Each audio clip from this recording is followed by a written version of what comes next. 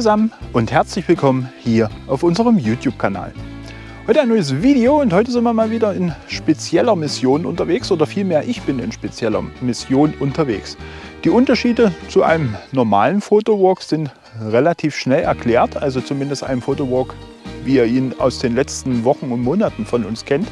Denn heute filmt nicht die FX30, sondern ich habe heute mal die GoPro 11 am Start habe mir die Mühe gemacht und den Mediamod angebastelt. Akkuwechsel brauche ich natürlich nicht, denn ich nutze wieder den Volta-Griff. Damit bin ich safe, was die Stromversorgung der Kamera angeht.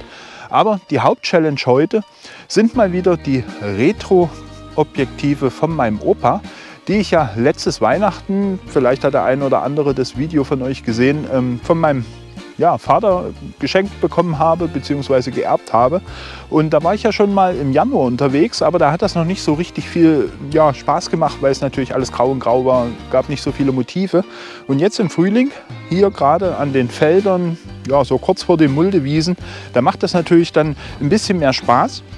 Ich habe im Moment auf der A74 mit dem KNF-Konzept ähm, Converter, den kennt ihr ja, beziehungsweise Adapter, so ist es richtig, ähm, habe ich das 29 mm 2.8 vom Pentagon drauf. Das ist natürlich ein analoges Objektiv, ein rein manuelles Objektiv. Ich muss also alles selber machen. Dafür nutze ich zum Beispiel die Kantenanhebung und lasse mir diese anzeigen. Die habe ich auf die Farbe Blau gestellt, denn blaue Motive sind jetzt hier nicht wirklich zu finden. Und da ist das ein ganz guter Kompromiss, um zu sehen, welcher Bereich gerade scharf ist und welcher nicht. Ich habe auch im Rucksack noch das 50 mm 1.8. Das werde ich dann auch noch drauf schrauben und damit noch ein bisschen fotografieren. Und ja, wir sind hier einfach unterwegs zu Fuß heute. Kein Fahrrad mit, kein Roller, kein Auto. Einfach vor der Haustür. Es ist Pfingstmontag. Super Wetter, wie ihr seht. Und da ist natürlich sowieso und generell immer alles extrem, extrem überlaufen. Und deswegen haben wir uns entschieden, wir bleiben einfach zu Hause vor der Haustür, versuchen hier das Beste draus zu machen und machen so einen kleinen Retro-Fotowalk. Und ich bin echt gespannt, was das für Aufnahmen werden. Wenn ihr Lust habt, uns zu begleiten, dann kommt einfach mit. Ich blende euch natürlich alle Bilder soweit möglich wieder ein, sofern die was geworden sind. Und schreibe euch oben in die Ecke, ob das eben ein Pentagon-Objektiv ist, ob das ein Foto aufgenommen mit der GoPro ist, denn auch das mache ich hier so ein bisschen, oder ob es ein Makrofoto ist, denn meine Frau ist natürlich, ihr könnt es euch denken, mit der ZVE 10 und dem 90 mm Makro unterwegs. Es geht aber ein ziemlich harter Wind und von dem her ist es gar nicht so einfach, Makrofotografie heute zu machen, aber sie wollte unbedingt und ja, dann lassen wir sie doch machen. Viel Spaß mit den Impressionen hier in diesem Video und dann sehen wir uns an anderer Stelle auf jeden Fall nochmal wieder. Und wenn es euch gefällt, denkt auf jeden Fall auch an den Daumen nach oben. Dafür schon mal vielen Dank. Bis später. I'm happy on my own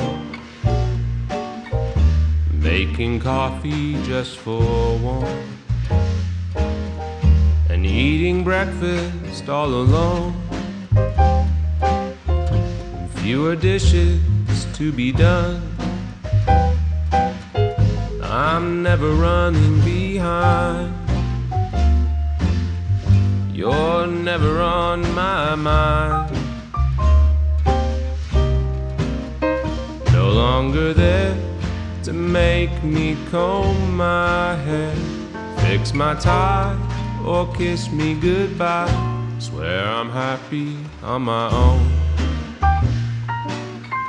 No one to worry where I am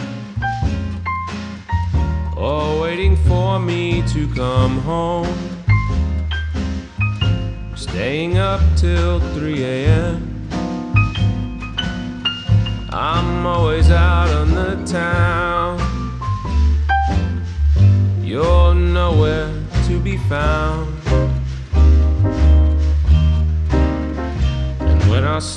So, ich weiß jetzt nicht genau, wie gut die GoPro das jetzt hier einfangen kann, aber ich probiere es einfach mal.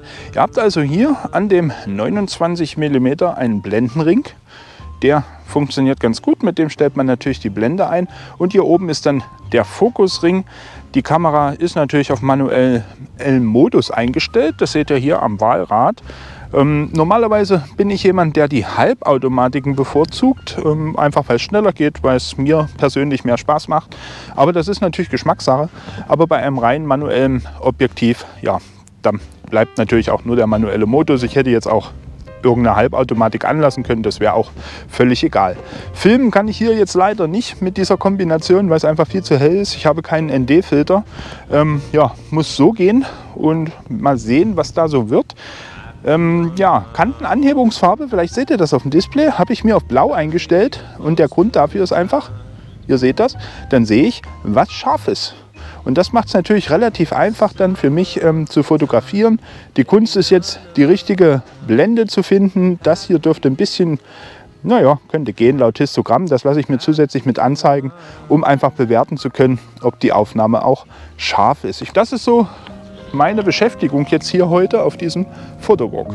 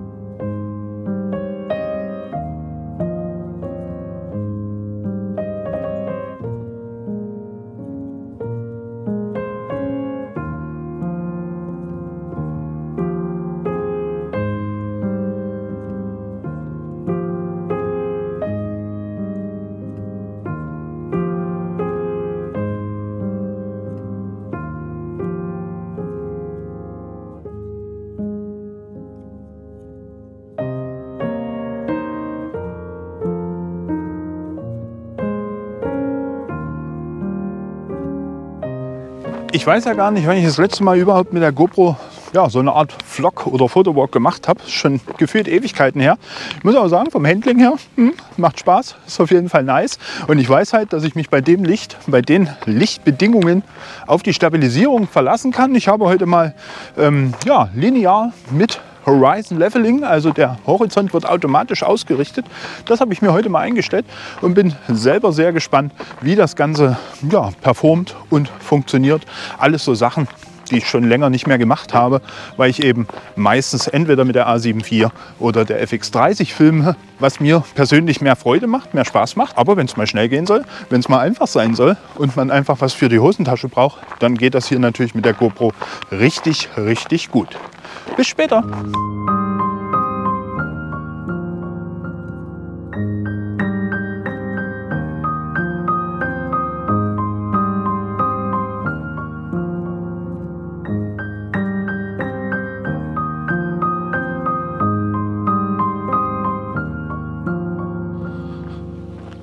Leute, also das macht echt super viel Spaß mit diesem Albenobjektiv hier ein bisschen zu fotografieren, ein bisschen zu machen. Ist natürlich auch eine emotionale Geschichte dann so ein Stück weit. Deswegen macht mir das vielleicht auch mehr Spaß, als es anderen machen würde mit so einer Retro-Linse. Ähm, ich finde es total spannend, orientiere mich so ein bisschen an der ISO-Automatik, damit ich erkennen kann, wann ich denn in irgendwelchen Bereichen vielleicht doch überbelichtet sein könnte. Ähm, aber im Zusammenspiel mit der Kantenanhebung in Blau funktioniert das doch erstaunlich gut, auch wenn ich in der Bildkontrolle jetzt schon gesehen habe, dass nicht jedes Bild wirklich ja, richtig scharf ist. Aber man darf halt auch nicht vergessen, das ist eigentlich ein analoges Objektiv an einer digitalen Kamera. Das Objektiv ist ja 50 Jahre alt wahrscheinlich und naja, also, dass man damit überhaupt fotografieren kann, ist für mich schon sensationell und wie gesagt, macht super, super viel Spaß. Aber ich mache auch das ein oder andere Foto mit der GoPro und bin gespannt, was euch am Ende besser gefällt. Schreibt das auf jeden Fall mal in die Kommentare, sagt mal eure Meinung zu solchen Retro-Objektiven, nutzt ihr die selber vielleicht auch und ja, in diesem Sinne ziehe ich jetzt erstmal ein Stück weiter oder wir vielmehr. Viel mehr. Meine Frau habe ich irgendwo verloren. Wir haben uns jetzt verabredet für hier oben und ja, dann sehen wir uns an anderer Stelle wieder. Viel Spaß weiterhin!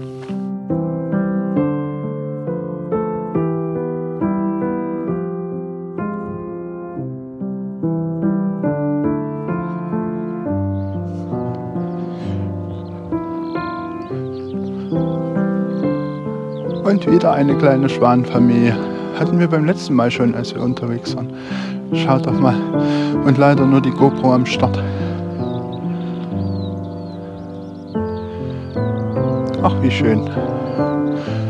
Das ist ja wieder was für mich. Ich versuche mal runter zu gehen, ich will sie natürlich auch nicht ärgern. Das sind 1, 2, 3, 4, 5, 6, 7 Küken. Ach, wie schön. Schaut doch mal.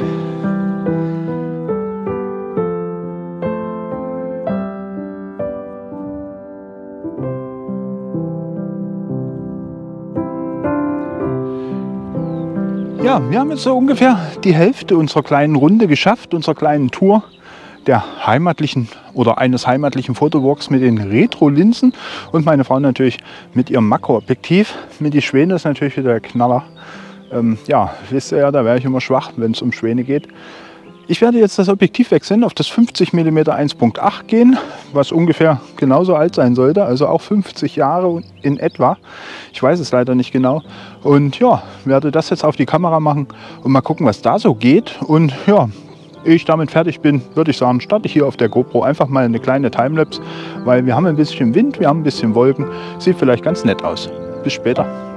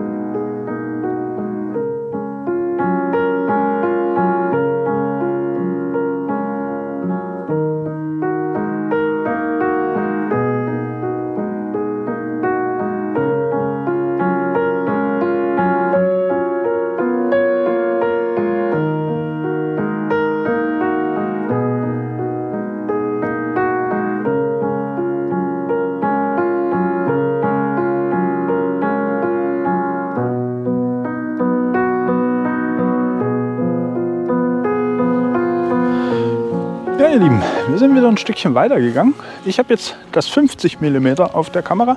Ist ja das gleiche Prinzip, unterscheidet sich nicht. Außer, dass man natürlich ein bisschen ja, mehr Tele hat, ein bisschen mehr Zoom. Tele ist ja übertrieben. Sind aber am Ende des Tages auch nur 21 mm Unterschied. Aber haben oder nicht haben. Was mir auffällt, wenn ich hier auf 1,8 gehe, ist es brutal schwer, irgendwas scharf zu bekommen durch den Wind. Das macht es halt nicht so einfach. Ich bin schon sehr gespannt, ähm, wie die Makrobilder von meiner Frau werden. Weil Belichtungszeit, ja, muss man an der APS-C dann natürlich auch ein bisschen aufpassen, dass man nicht zu kurz macht, dann rauscht die ISO natürlich in die Höhe. Und die Blende ist natürlich auch immer so eine Geschichte. Man will die Blende relativ weit schließen, um durchgehende Schärfe zu bekommen oder halbwegs das, was halt so möglich ist. Und ja, da beißt sich dann bei einem APS-C-Sensor schnell mal irgendwie die Maus in den Faden, wie man so schön sagt. Oder was der Schwanz, ich weiß gar nicht mehr. Na egal. Ja, wir sind jetzt hier mitten auf der Muldewiese. Ihr kennt das. Hier bin ich extrem oft. Normalerweise ist die um die Zeit eigentlich auch schon wieder gemäht. Finde ich schön, dass man sie mal ausblühen lässt und ja, so den Tieren auch eine Chance gibt. Es müsste ja im Moment eigentlich auch Rehkitze geben. Und ja, die haben jetzt hier natürlich tolle Möglichkeiten, ihre Kleinen da so ein bisschen groß zu bekommen. Aber ich denke mal, allzu lange wird es nicht mehr dauern.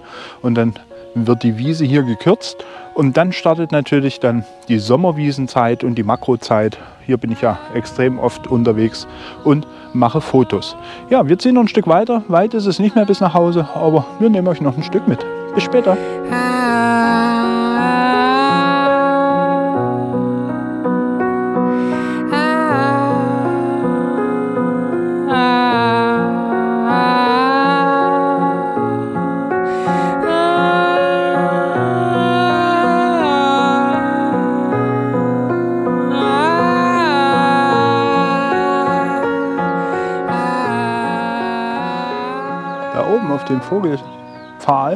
für die Greifvögel eigentlich, sitzt eine Bachstelze. Ich fürchte mal, dass man das hier nicht erkennt über die GoPro. Aber ja, die lässt einen schon ziemlich nah ran. Mit 50 mm habe ich hier nicht so viele Möglichkeiten. Und meine Frau ist zu weit weg. Die hätte jetzt 135, wenn man den Kropffaktor der APS-C-Kamera mit einberechnet. Das wäre zumindest schon mal ein bisschen was. Sehr, sehr schön. Ich liebe es einfach.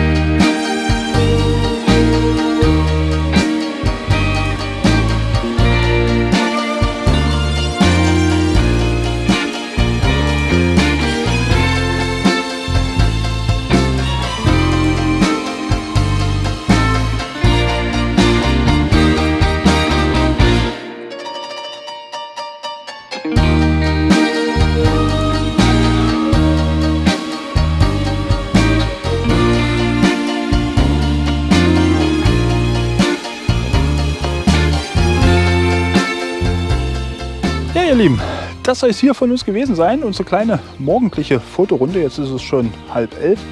Wir waren jetzt wieder so zweieinhalb, drei Stunden unterwegs auf meiner Stammfotorunde. Hier bin ich ja sehr, sehr oft unterwegs, auch mit dem Teleobjektiv und so. Und ja, macht immer wieder Spaß, weil es immer wieder anders aussieht. Und heute ganz speziell mit den beiden Retro-Linsen von meinem Opa, 50 Jahre alte analoge Objektive an der A7 IV. Meine Frau hat wieder Makro probiert. Heute alles nicht so einfach bei dem Wind, weil die Motive sich natürlich auch permanent dann im Wind bewegen. Es braucht also kurze Belichtungszeiten. Es braucht ja, ein bisschen eine geschlossene Blende, um auch alles ein bisschen schärfer zu bekommen. Und das zusammen sorgt dann dafür, dass die ISO relativ nach oben geht. Gleiches Problem hatte ich auch hier mit diesen beiden Objektiven. Mit dem 50er Objektiv auf 1,8er Blende hat man auch sehr, sehr wenig Schärfentiefe und ja, muss dann sich entweder entscheiden, ob man die Blende ein bisschen schließt oder versucht irgendwie die Kamera hin und her zu bewegen, um das Motiv auch wirklich in den Fokus zu bekommen. Ist nicht so ganz einfach, und ja, bin gespannt, was rauskommt. Ich habe in der Bildkontrolle schon gesehen, dass ein paar Bilder nicht wirklich scharf geworden sind. Aber egal, das macht gar nichts. Hat super viel Spaß gemacht. Wie gesagt, ist natürlich auch so ein bisschen eine emotionale Geschichte für mich, mit diesen Linsen unterwegs zu sein und zu fotografieren. War eine tolle Runde. Wir hoffen, euch hat es gefallen. Wenn diese Art von Videos euch gefällt oder ihr mehr wissen wollt zur Fotografie im manuellen Modus mit solchen zum Beispiel älteren Objektiven, aber es geht ja auch mit modernen, dann schreibt es gerne in die Kommentare. Ansonsten bin ich auch sehr gespannt auf euer Feedback zu den Aufnahmen hier mit der GoPro. Ich habe ja auch einige Fotos mit der GoPro gemacht. Werde ich euch, wie gesagt, alles einblenden, welche Kamerakombination die Bilder gemacht hat. Und ja, wenn euch das Video gefallen hat, lasst auf jeden Fall einen Daumen nach oben da. Lasst ein Abo da, schmeißt die Glocke an, hört auf die Frösche, die sagen euch das Gleiche. Und ja, ich darf euch wieder liebe Grüße von der Kamerafrau ausrichten. Die kommt hier gerade angewatschelt. Und ja, in diesem Sinne wünschen wir euch eine schöne Zeit. Und wir sehen und wir hören uns im nächsten Video. Video. Bis dahin, ciao, ciao. Euer Daniel. Tschüss.